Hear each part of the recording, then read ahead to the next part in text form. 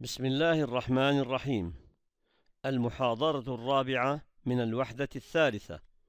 الإقلاب. ونبدأ بتعريفه لغة واصطلاحا.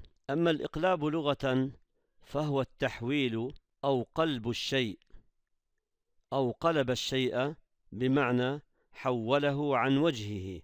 إذن هذا هو المعنى اللغوي تحويل الشيء أي قلبه عن وجهه. وأما اصطلاحا فهو جعل النون الساكنة والتنوين ميما عند الباء. يعني إذا أتانا نون ساكنة أو تنوين وأتى بعدهما باء فإننا نقلب التنوين أو النون الساكنة إلى ميم وسيتوضح لنا عند الشرح. حرف الإقلاب له حرف واحد هو الباء. وأما أمثلته فلنستمع إلى الأمثلة التالية. من بعد. نون ساكنة. أتى بعدها باء.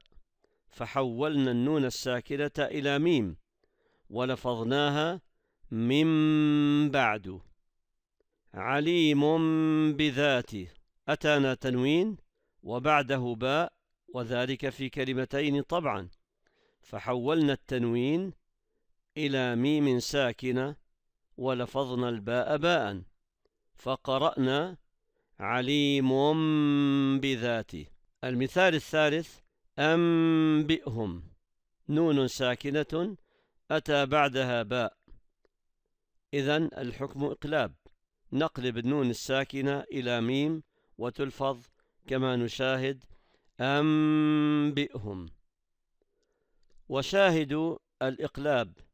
من التحفة قول صاحب التحفة والثالث الإقلاب عند الباء ميما بغنة مع الإخفاء غير أننا نلاحظ لا ينبغي كز الشفتين عند النطق بالإقلاب يعني ينبغي أن نترك فراغا بسيطا يعبر منه قليل من النفس عندما نلفظ الحرف. فلا نطبق الشفتين إطباقا تاما بل نترك بينهما فجوة. وأعيد المثال ملفوظا من بعد. عليم بذاته أنبئهم.